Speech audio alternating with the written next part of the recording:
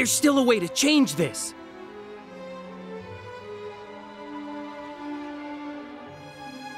If we return to an earlier point in time, we'll be able to save her.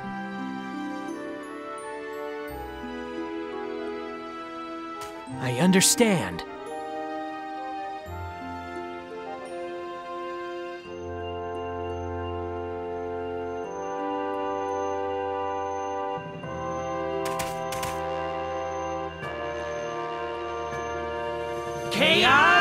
Control!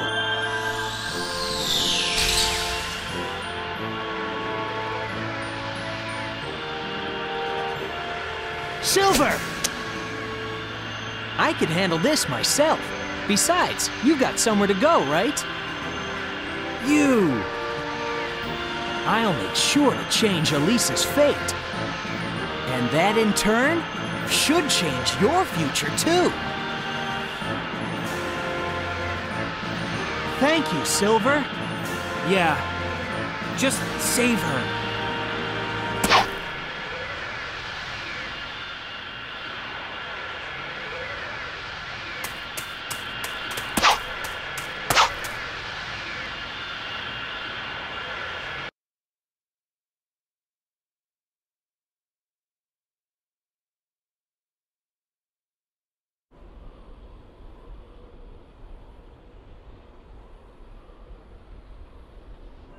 I know how to save our world now.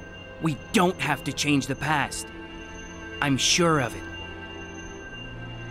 So you have a plan?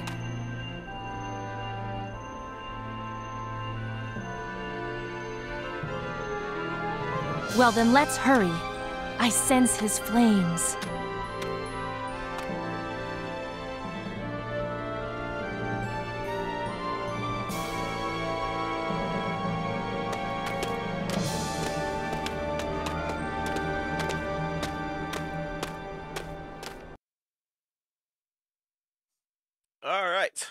Now Silver's final level is Flame Core. Yeah, you may have noticed that we didn't do Flame Core as Silver. um, but now we have to hurry to Iblis again, but this time in Flame Core. Not much to it, I mean, so let's just do it. Jesus, fuck these load times.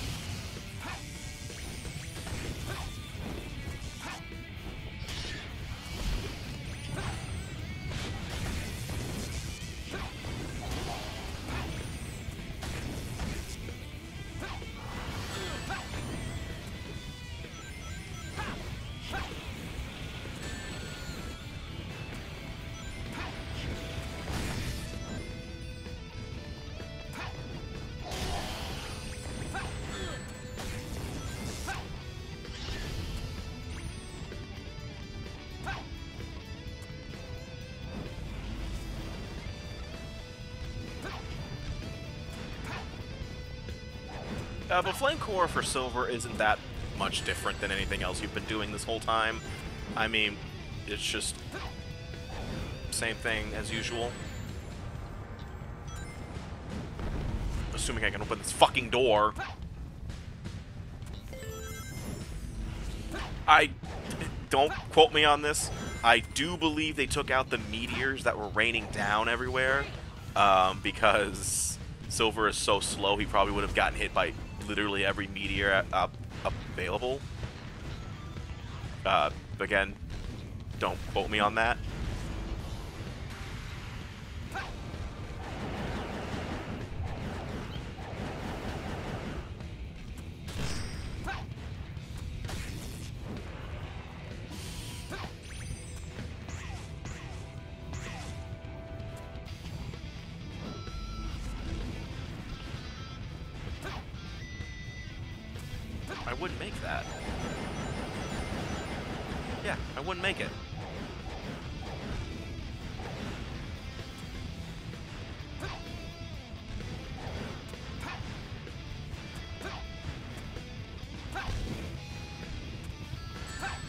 You motherfucker!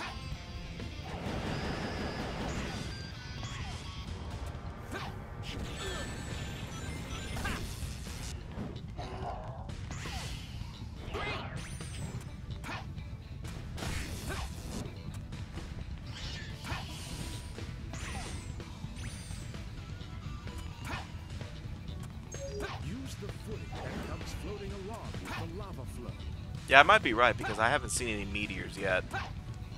Then again, that doesn't happen in this section, does it? I didn't see any back in the beginning section either, so... Well, once we start heading towards the volcano in the next bit, uh, I will be, be, be proven right or proven wrong.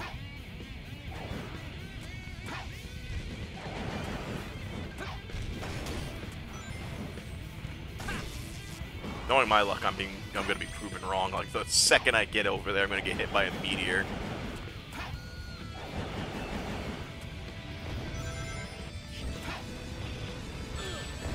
I fucking hate the fact that they track you.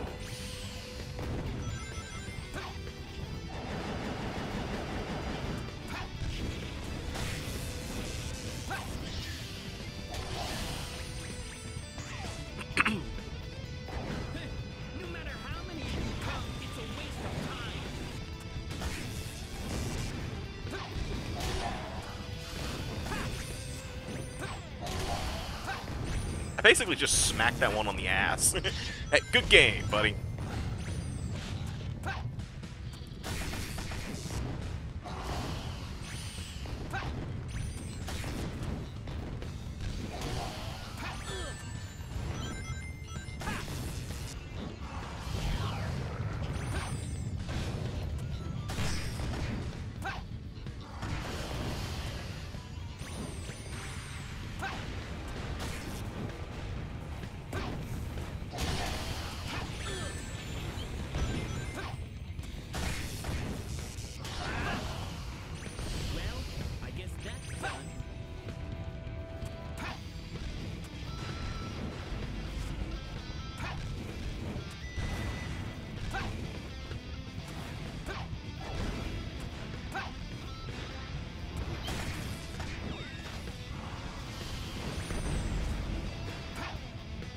Alright, let's see if I was proven wrong. Yep, they're here. I see them.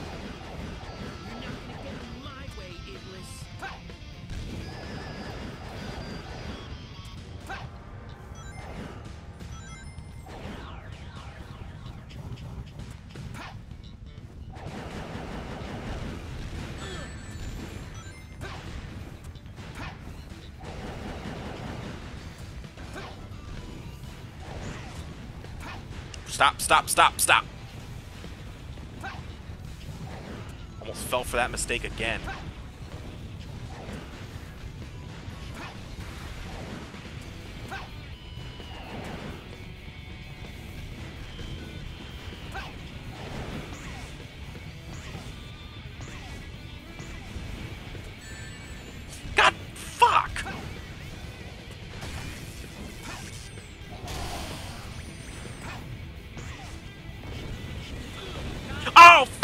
You!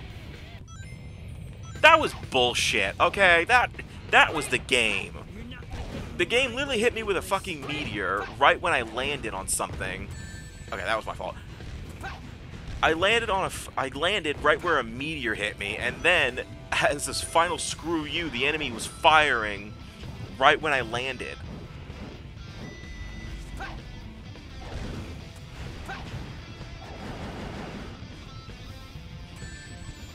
I'm dead.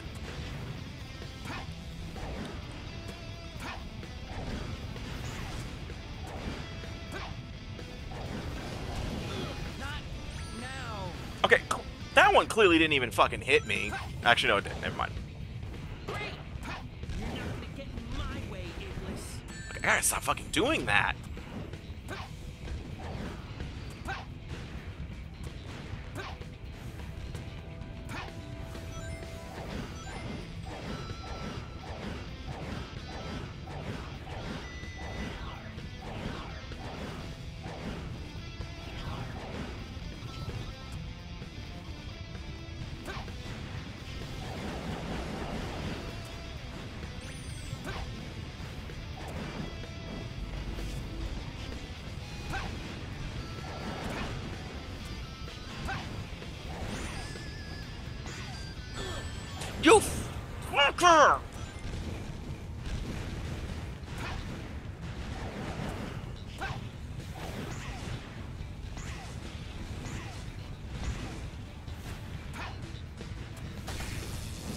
That enemy is blatantly clipping through the gate, by the way.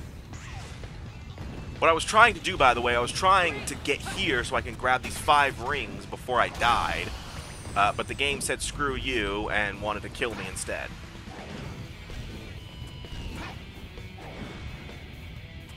Oh yeah, let's have the slowest character run through this with meteors. Oh, I was about to say, I was about to get hit, wasn't I? But I'm calling BS on that first death. That was fucking bullshit. And when I got hit while in the middle of, of the spring section, that was bullshit too.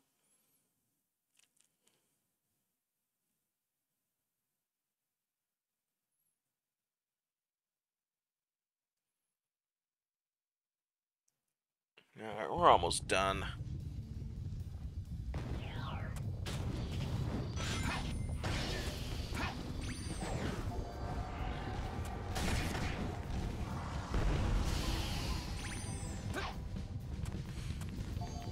Concentrate your power on the light, and it will show you the way.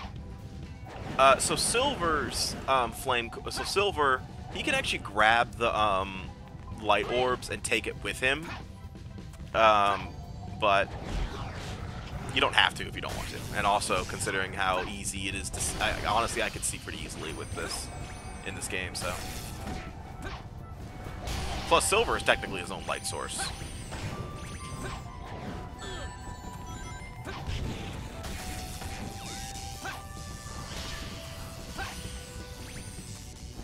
So yeah, unlike Shadow and Sonic, we're going uh, to this door because this door we did see as the other hedgehogs, but we ignored it because well, there was no switch for it. Uh, what I, however, though, with Sonic's gems, I believe you can actually clip into this area. Um,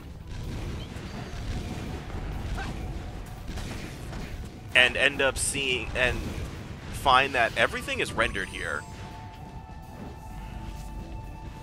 like like at least in terms of like the base level geometry like like I don't think it's an actual like void like it was back in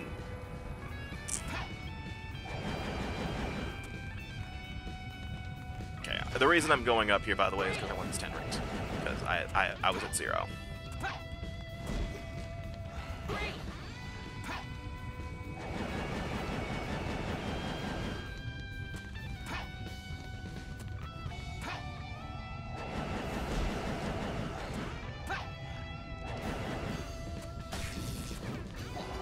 For some reason, Mephiles' version of the Iblis monsters are here, um, which is interesting. I'm surprised Silver isn't commenting on that, but I guess Silver doesn't care, or he doesn't know.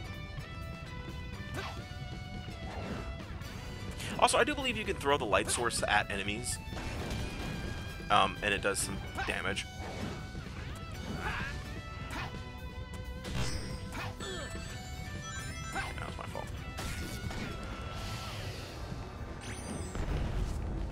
Yeah, this is like one of the rare instances in the entire game where um, Silver goes a completely different route than the other hedgehogs.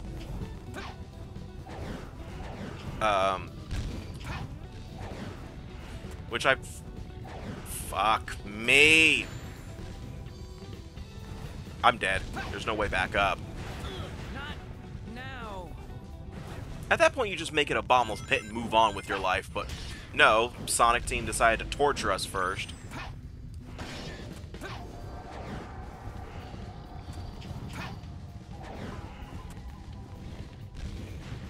By the way, again, I will mention that that was my fault. I got reckless with my meter. I keep doing that. I don't know why I keep doing that. I, I think it's mainly... I think it's my instinct of, I want to get this game over with.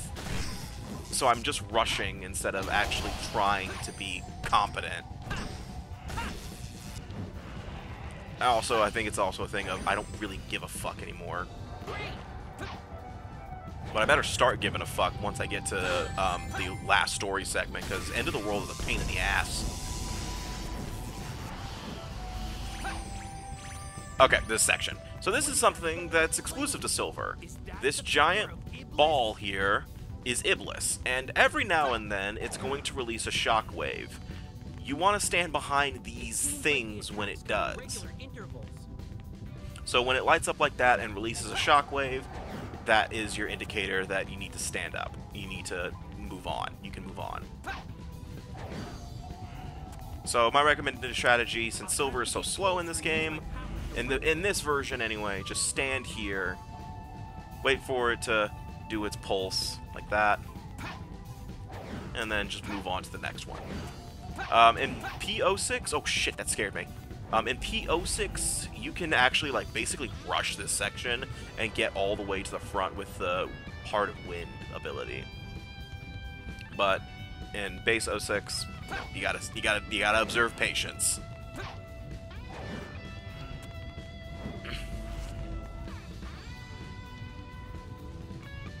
But I do like this, but unfortunately the animation for Silver destroying the ball is very, very terrible in this game. In P06, it's kind of fucking badass because you see so like you see a fraction of Silver's potential, and I really like it. And also in P06, you also get an upgrade if you had um if you got all S ranks in the game already. Oh, that was okay. All right, that threw me off, so I'm gonna wait. I'm gonna wait it out.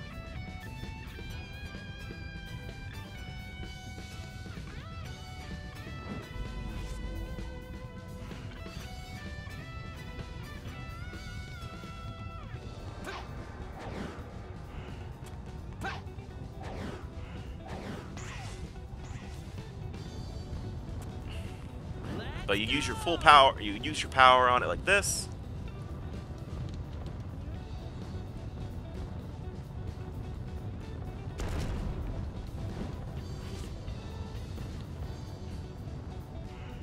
It destroys itself, but it's kind of anticlimactic. You know, in P06, Silver like flies up, fucking annihilates it with a psychokinesis. Ooh, a silver medal. And it was pretty cool. It was something cool to look at, but in base 06, that's what it has to. And then you gotta walk into this hall, and that's the end of the level. That's it. That was terrible. I'll accept that. Alright, so now we have the final boss, and I'm praying to God that I actually do it well. Because you technically have a time limit for the boss battle. Um, it's the final boss battle with Iblis. Um, I'll get into what Iblis will do when the battle starts, because there's a cutscene right before.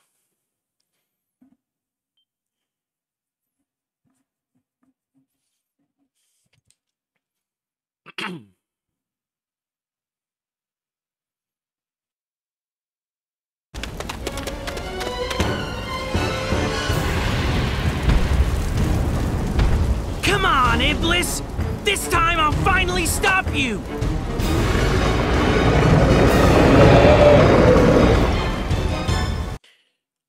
Alright. So this fight is somewhat similar to the original fight. Um, so you'll be constantly throwing projectiles at Iblis, but unlike the first fight, you're not breaking his armor down. But he'll be very, very far away from you at the beginning of the fight. And throughout the fight, he will do different attacks to try to, you know, kill you. One of them is a shockwave attack that he just demonstrated, where it'll be at three different levels and you just got to avoid it. And then he'll walk closer, and then he'll throw, like, meteors or something at you and stuff like that you need to make sure you kill Iblis within a few cycles, because eventually, if he gets too close, he'll destroy the foothold that you're currently standing on. And if that happens, you have to start all over. Like, you will eventually, if the whole foothold um, breaks, you will die. So you can throw the things, and you can hit them from any distance. So don't worry about that you know, just pray to God the game's collision doesn't screw you over. Also, I don't recommend throwing meteors when the meteors are circling around him like that, uh, because then you'll just end up destroying the meteors and not hitting him.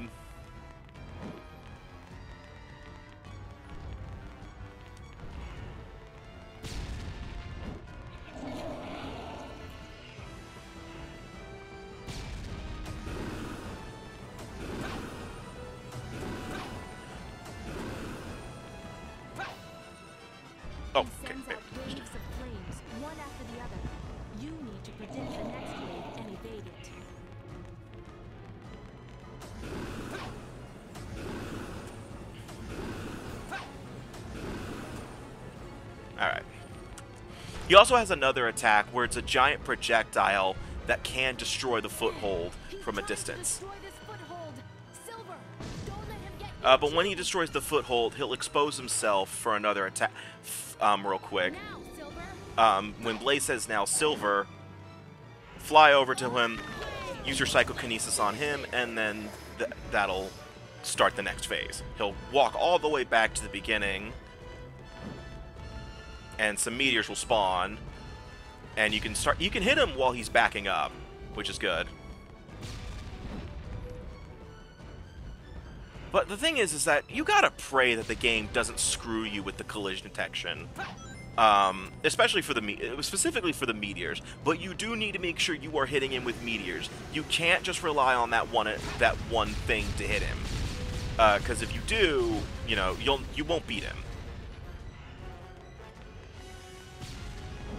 So just make sure you're constantly throwing meteors at him. Uh, I would recommend throwing one at a time and just making sure. Trying to destroy the Okay, now foothold from a this- distance this time. Here it comes, Silver. I think I'm close enough. Grab it, throw it back at him. And that will do a decent chunk of damage. And that's it. So yeah, he will try to. So yeah, he tries to destroy the foothold from a distance. Uh, just make sure you throw that back at him. That is the only time that Silver can grab something that is significantly bigger than him, by the way, besides the pendulum. Because yeah, that's, that's the other thing about this game that uh, irritates me is how inconsistent they are with Silver's powers. And that was one of those instances. Like, he couldn't grab the billiard ball back in Dusty Desert, but he can grab that.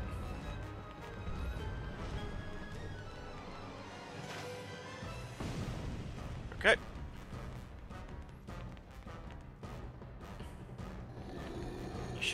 Expose himself, fly over to him.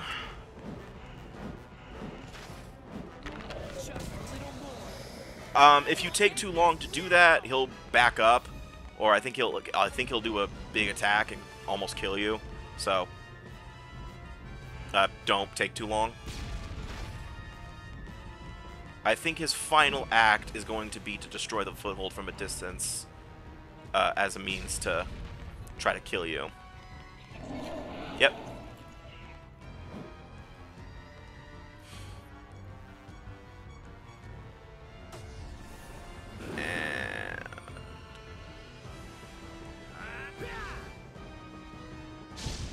And there you go.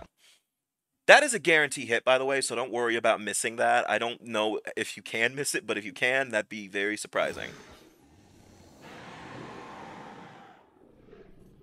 By the way, that was relatively smooth. I don't think I, I, I didn't do anything wrong.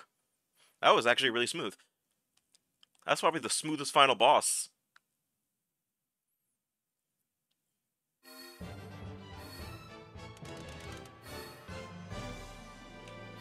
Oh, fuck you!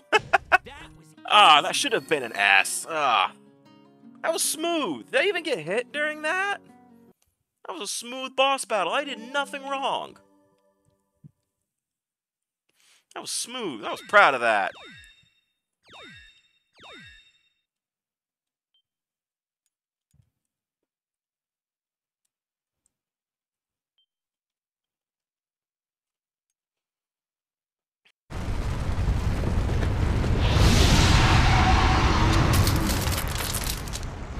Chaos Emeralds, lend me your power. Eternal Sun, the living flame that has been entrusted to the royal family. Fall into slumber with my soul, Iblis, you cursed flames of disaster! Ah! Ah! No! Why won't it accept me as the vessel? Blaze! I'll take Iblis. Don't worry. My soul is already alit with flames. I will be accepted.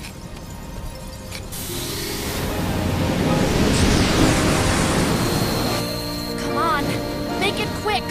Use your chaos control to stop time. Then seal us into a different dimension. No! I can't do that to you! Didn't we already go through this? We agreed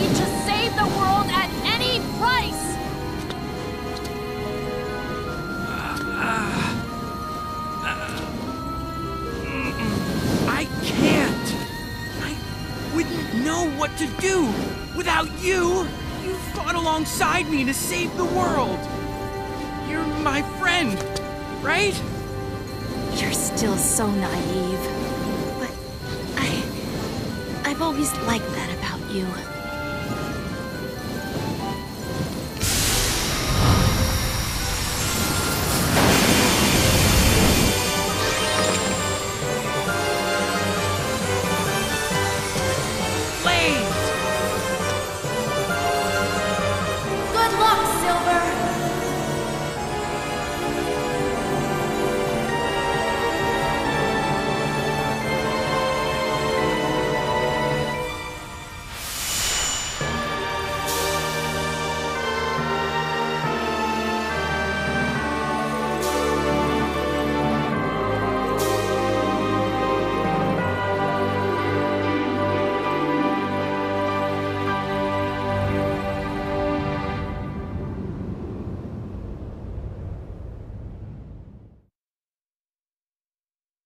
I'm pretty sure Blaze just died.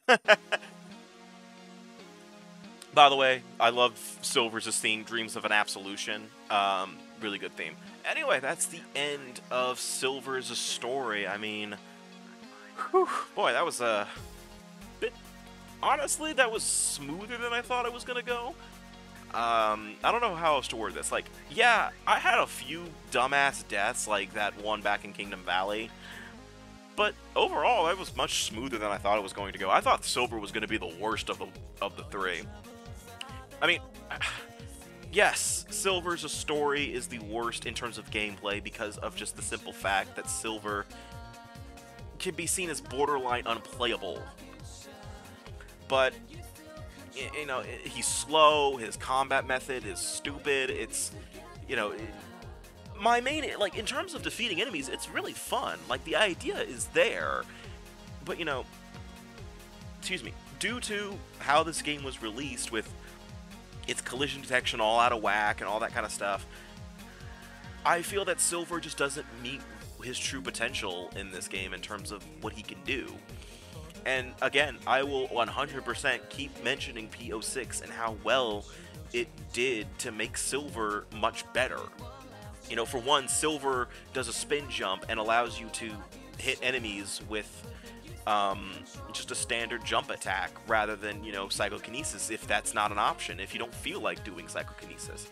You know, the game gives you P06 gives you options on how to defeat enemies.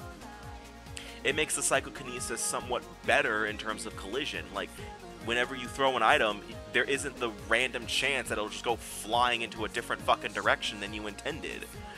Um, Silvers' flight, you know, was, you know, Silvers' flight, you don't have to mash the X button as much to make the.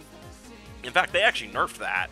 Um, you don't mash the X button to get more distance. You know, his abilities somewhat are more useful besides the um, his stomp. But like, you know, his Heart of Wind very useful in P06. You know, and they they even gave him some other upgrades that aren't in this game, but I don't feel like going in depth with them. Like, I do think that Silver deserved a little bit more. Like, it's one of those things where if 06 just had a little more time to cook and wasn't rushed out the door to celebrate Sonic's 15th anniversary, I think that 06 would have been perf- would have been much better than what it was. I'm not gonna say perfect because honestly the story is still ass, but you know, most people, oh, you know, a lot of people don't play Sonic games for the story. You know, they play Sonic games to have fun with you know high speed platforming. And if Sonic 06 could do that at the at the very least, then no one would have even cared about the story. But unfortunately, 06 was just rushed out. I know I'm kind of sounding like I'm getting into my final thoughts when I haven't even done the last story yet. Uh, yes, that is the next time we meet for Sonic 06 because I'm actually going to take a bit of a break. I was going to do the last story in this session, but I'm kind of tired of. I kinda, I'm kind of tired. I kind of want to go to sleep. I've been kind of up all day. I've been up all day. It's my it's my one of two day. I only get two days off because you know standard. You know I only work five days a week and I work retail, so I kind of want to take the rest of the night off and kind of just lay down for a few hours before kind of want to lay down and go to sleep. And plus, I've been up all day playing Final Fantasy VII Rebirth um, because I fucking love that game right now. I'm only like a few hours. I'm only a couple hours in, but I really love what I'm playing so far.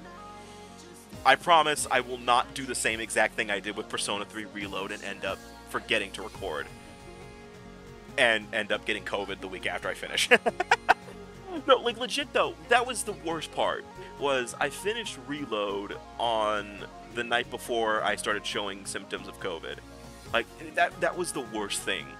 And then like, you know, I got to the weekend and I was somewhat better on Saturday. Like I was not as like you know, I wasn't di- I wasn't dying because like my my experience with COVID was kind of interesting. Like the f- like the first day was Tuesday, and I was like I could not stand for longer than ten seconds without nearly falling over or throwing up. And then like Tuesday, I mean not Tuesday, Wednesday through um, Friday, kind of felt like the flu. You know, I just had like some sinus, like I had some sinus problems and coughing a lot. And then Saturday, I kind of felt pretty much in the middle. Like I, I kind of felt like crap, but I could still breathe somewhat. And then s- Sunday, I could, you know, breathe. And then Monday, I went back to, and then Tuesday, I went back to work. Um, and then you know, throughout the week of working, I still kind of had like a stuffed nose and a bit of a cough, but um, I've been much better. But you know, I was, I felt much better. And then now this week, I kind of feel like I'm sort of back to, you know, fighting speed. I'm sort of, I guess that's the way to phrase it. I'm kind of back in fighting spirit. I mean, I've coughed a few times throughout this, but usually it was because I was talking too much or I got into, I just needed a drink. Like, I'm still coughing every now and then, and I do kind of have a stuffed nose occasionally like you know especially when i'm laying down but i always get that when i'm when i'm laying down i've always gotten that i need to look into that because it kind of sucks i think i have like a nasal problem i need to figure out but eh. going to a doctor's expensive uh, going to a doctor's expensive but saying it is what it is to everything is free anyway uh, enough talking about my health no one cares about that Um, I'm gonna skip the credits now since it's just playing his world. As much as I love his world, I don't want to hear it again. Um, but that is it for this session of Sonic 06. I think I've about three hours in. I think that's all of my sessions so far. So the next time we meet in Sonic the Hedgehog 2006, we will be doing the last episode, which is not long. It only has one level, which is kind of a stupid level, and one boss, which is the final boss. Uh, but oh, the last story is going to be fun. I will keep you guys in suspense, though. Um, I mean, I still gotta do the entire silver section. I uh, gotta I gotta finish up the shadow in terms of uploads, and then I gotta do all of silver. So it's gonna be a couple weeks. I I want I'd wager. But I will see you guys next time for Sonic the Hedgehog 2006 with the last story. Thank you guys very much for watching, and take care.